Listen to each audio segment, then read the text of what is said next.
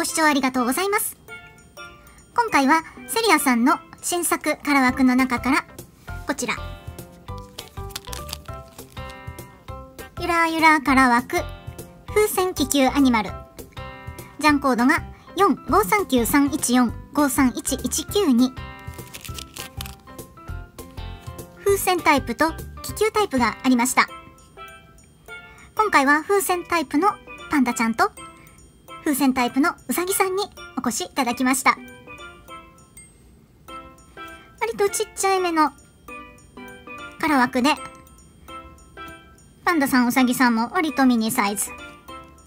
そんなに細かすぎないと思いますので、割と作りやすいんじゃないかなと思っております。目論見としては、レジン液を使わずに、ジェルネイルだけでできるかな使ってみたいなと思っております。では、準備をしたいと思います。ゆらゆらから枠の、このゆらゆらしている部分、ゆらゆらしている部分、このゆらゆら作ってるのが丸カンになります。上側のフレームと下側のフレームを 3mm かなの丸カンでつないでいるタイプになります。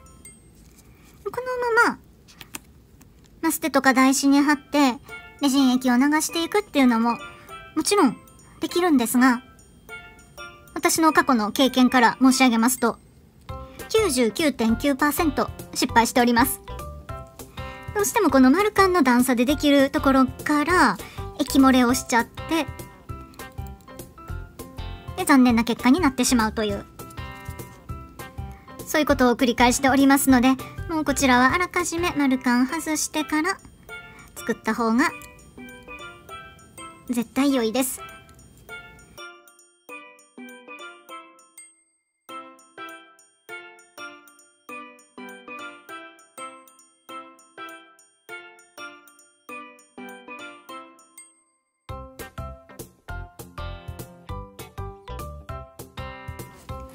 では、パンダちゃんの方から作ります。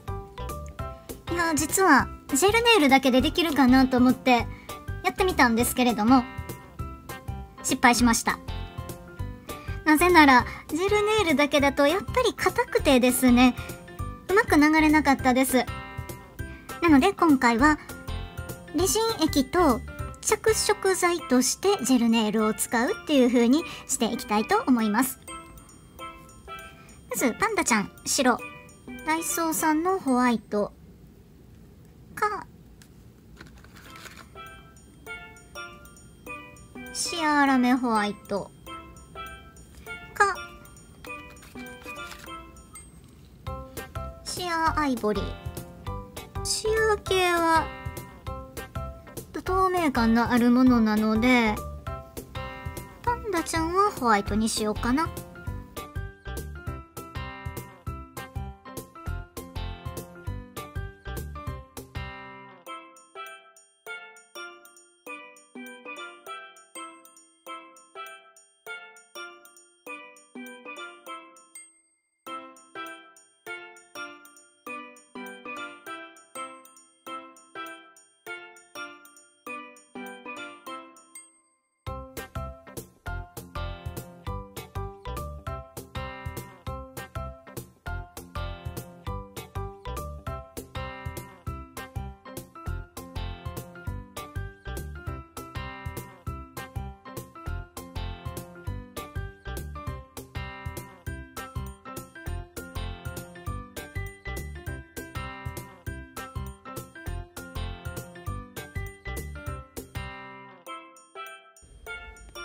仮効果を繰り返しながら各エリア1層目を作ります。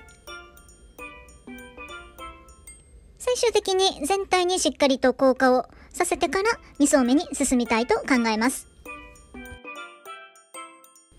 こちらはブルー系で作ろうと思っています。真ん中の風船を濃いめのブルーにしたいと思っていますので、こちらに関しては1層目に透明のレジン液を流します。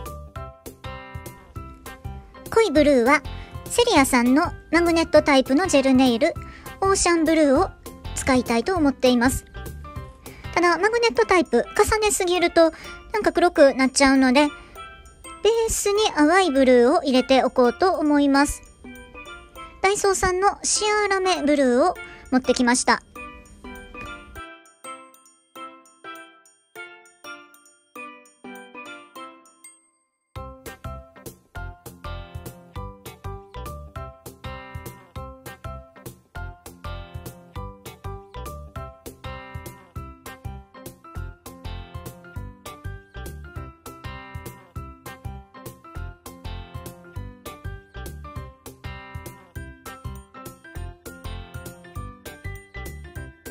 同じくシアーラメブルーを入れたい部分、一層目を流し、仮効果をしておきます。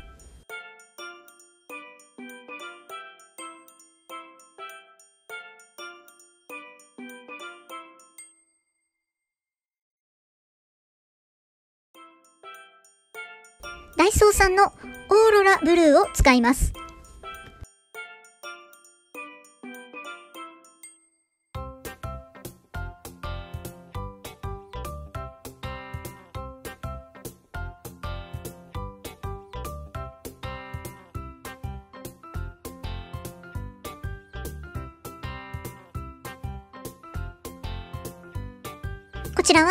ソーさんのオーロラシルバーです。先ほどのオーロラブルーと混ぜて、右側の風船の下から2つ目のエリアに入れます。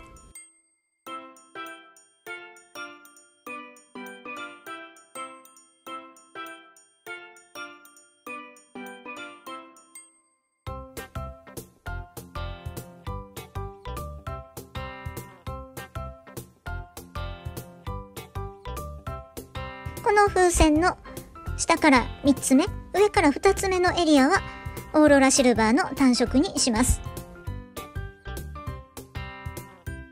一番上の段にはセリアさんのジェルネイルオーロラを使います。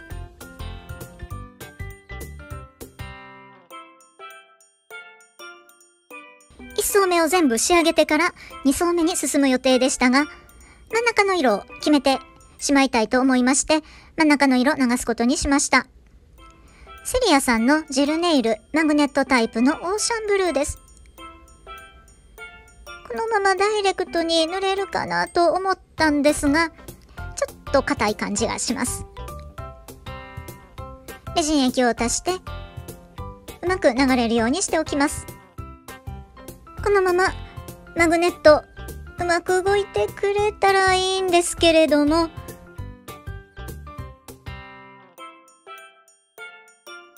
マグネットが全然動けへんかったので、レジン液を足して、ほんのりグラデーションできるようにしたいと思います。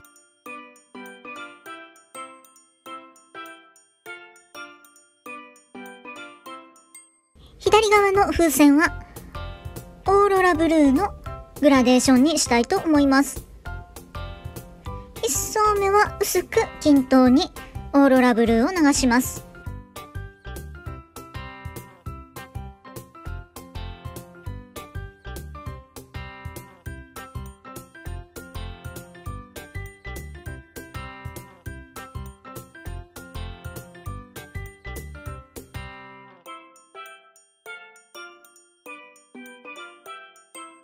2層目は、グラデーションを作りたい。上の方を濃く下側にクリアのレジンを入れてグラデーションにします。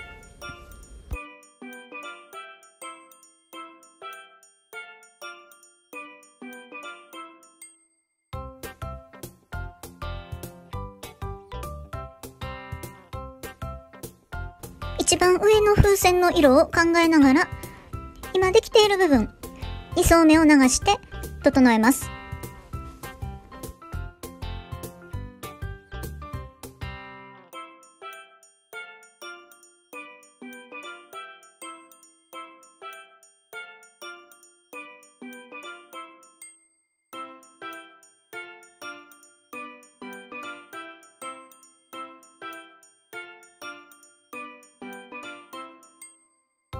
一番上は白っぽい色にすることにしました。ダイソーさんのシアーラメホワイトを使います。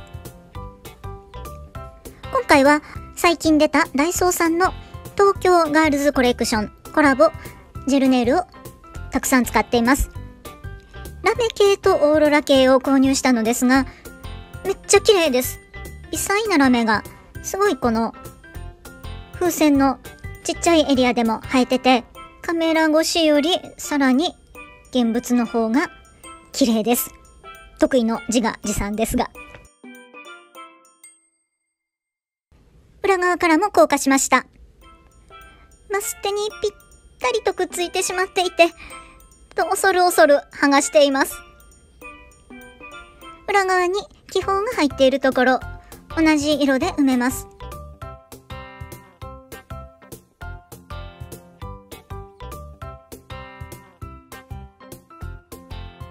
気泡を埋めたところだけムラにならないように周りとなじませます。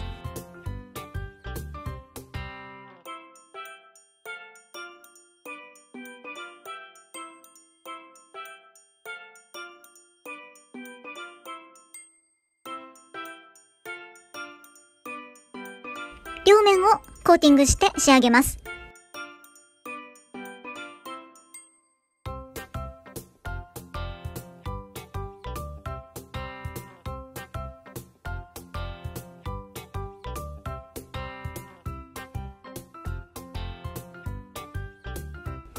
を当ててムラや気泡がないようにチェックをしています。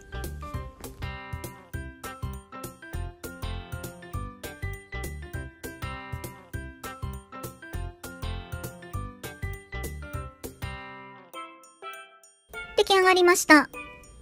なんとなく裏の方が落ち着いたいい感じになったかもしれないです。同じようにピンクのグラデーションでうさぎちゃん作りました。うさぎの目を黒で描いたら、なんとなく無なうさぎちゃんになりましたが、まあ、よしとします。最初に外した丸カンをつけます。もしもつけづらかったら、ここはもうこだわりすぎずに新しい丸缶や二重缶などでつなぐっていうのもありだと思っています。今回うまいことつきましたので、このまま使います。可愛く出来上がりました。仕上げるかちょっと悩んでいまして、カニ缶つけるか、ナス缶つけるか。ちっちゃい方のフックがカニ缶で、こう回転できるような回転感がついてるのがナスカンって思ってますけど、合ってますかしら？カニカンつけてたらキーホルダー、ナスカンにもつなぎやすいんで、一旦カニカンつけて仕上げます。